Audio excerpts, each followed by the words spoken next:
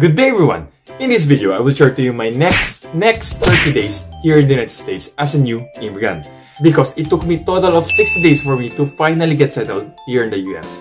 So I will share to you my experience, tips, things that you should do, and things I should have done even before coming here to the US. So stay tuned and watch to the. I'm Nurse Juan De La Cruz, your OFW nurse.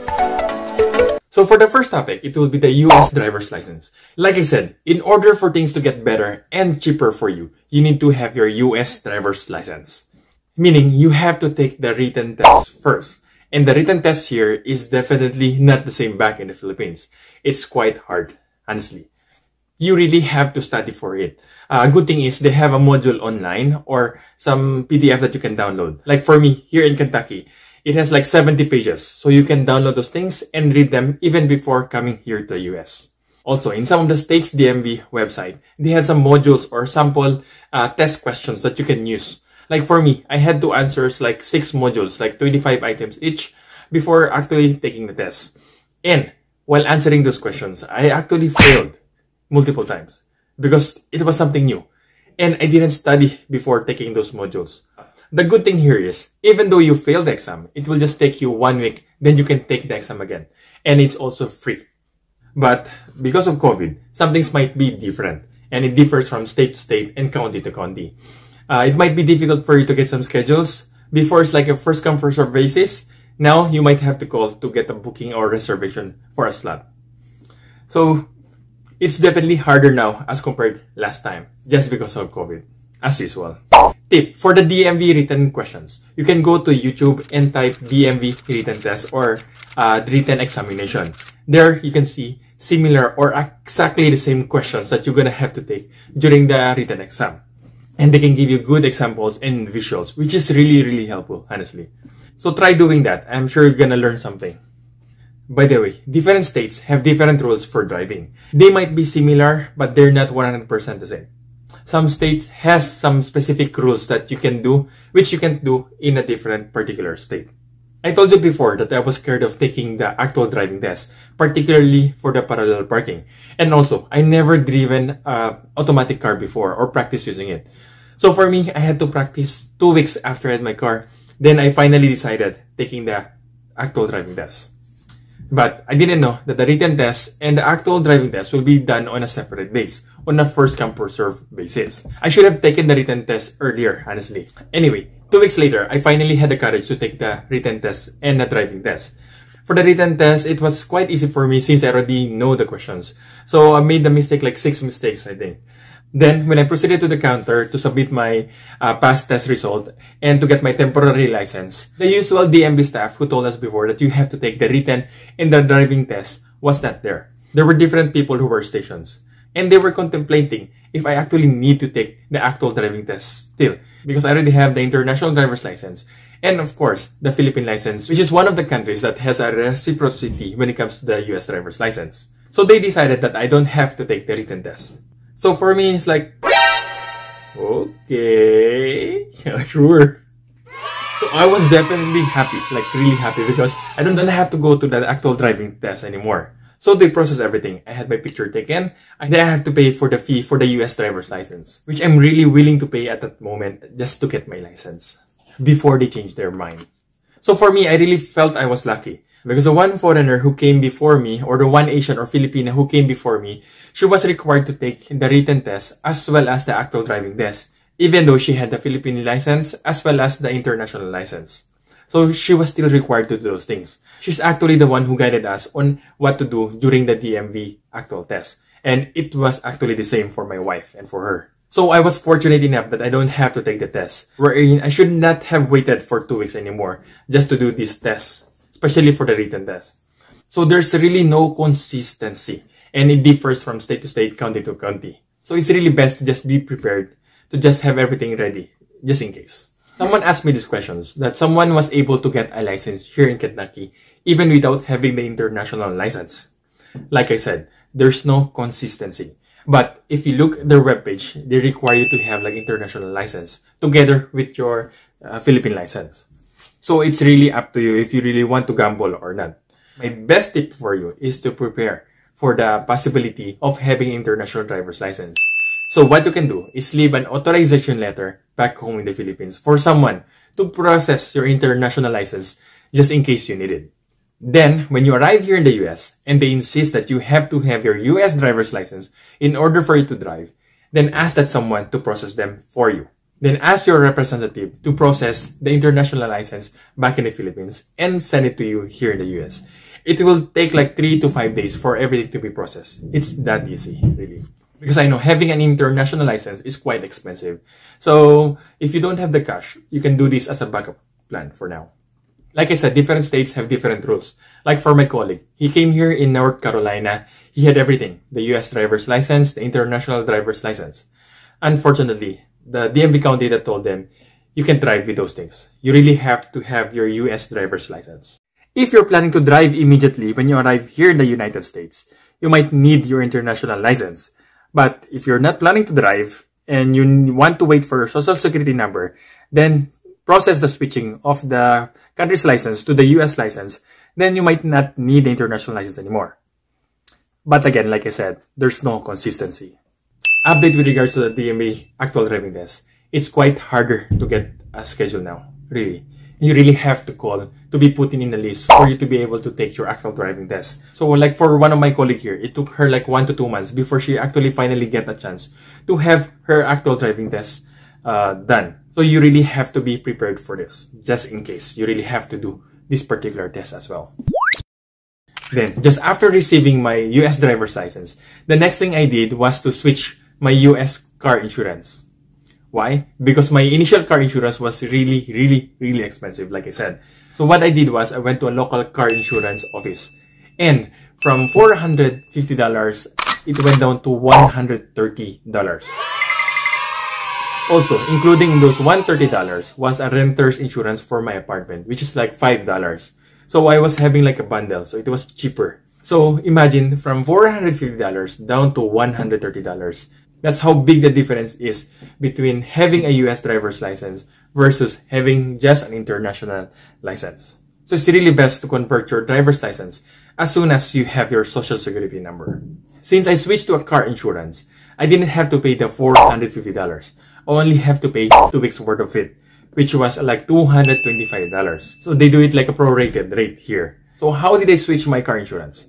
After I arrived in the office, I called my previous insurance through the phone. So I asked my previous car insurance to cancel their, my subscription with them after 12 midnight. Because I'm gonna have a new car insurance which will activate after 12 midnight. And they asked me what's the reason for switching. I told them I have a better offer. That's how easy it is. So once you tell them, they will just send you an email or confirmation letter, and then that's it. As easy as one, two, three, really. So recaps on the tips. Study before coming here to the US. Read the PDF for actual DMV state and really try to get the important things from those pages. Then practice your driving skills before coming here to the US just in case. You can watch my video to have an idea of how the DMV actual driving test done here in the US. FYI, the DMV actual driving test differs from state to state, place to place. So you still have to do some of your other researches. I will make a video with regards to having a license here in the US, as well as some tips and information that you really need in order to prepare, like the parallel parking, like what to do in order for you to have a better chance of passing, and how to prepare. So please make sure to click the subscribe button. Then the next topic is my wife's social security number. For her, her social security number did not come together with mine. It came separately. Uh, mine came within like three weeks. For her, it came on the fourth week. But when the letter arrived finally on her hands, states there that her social security number is still being processed. So her actual social security number arrived two months after. So it took her that long. That's why in my previous video, I told you to be prepared financially and prepare for the worst because this happens often. Like for my previous colleague, it took him like two months also before receiving her, her or his social security number. So prepare for the worst, hope for the best. Then the next topic will be about the phone. Here in the US, you need to set up your voice mailbox. Because here in the US, when people can call you, they will leave you a voicemail most of the time. So if ever you're waiting for some instructions coming from specific companies, so it's best to have it set up here in the US, you will be receiving a lot of calls. Calls coming from car insurance, like agents, like health insurance, like uh, weight loss uh, programs and everything, and also scammers. So please be wary about these things because some people will really try to get information from you through the phone or through messages or voicemails. So please never give your social security number or bank account or any details to anyone that you do not know, especially through the phone because they might be scammers. They might be just fishing for informations uh, that might not be advantageous for you or that might be dangerous for you, honestly. So please be wary, okay? The next thing we did here to settle is to teach my wife how to drive. Driving in the US is really easy, especially for living in an area like mine, like more of a rural area. But if you're living in a city area, it's more difficult. But most of the places here in the US are quite similar to mine, like a wide road, uh, there's no much traffic. So it's a good place to start driving, honestly. So in order for me to teach her how to drive, I asked her to get the uh, driver's permit, which was easy enough for her.